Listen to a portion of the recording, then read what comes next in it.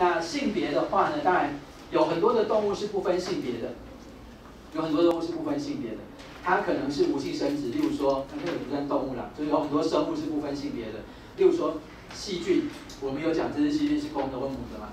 这样没有很奇怪嘛，对不对？然后有一些动物的话，会有一些植物，它有分，可是它是雌雄同体，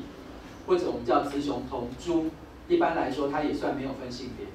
雌雄同株，大家听得懂吗？就是一朵花开出来，不是有雄有雌蕊，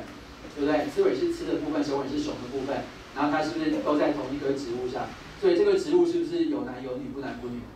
所以它就没有分性别，这样懂我的意思啊？那有一些动物也是这样，又说瓜牛啊，又说蚯蚓啊，啊，它们就是雌雄同体。好，那我们就来跟大家讲到，所有的生物可以分成两种，有一种有分性别，另外一种没有分性别。那么有分性别的生物又可以分成两种。有一种是在受精的那一个瞬间，遗传就决定了它的性别；有另外一种是受精的那一瞬间还不知道它的性别，要看它孵化的状况，也就是后天的环境因素会影响它的性别。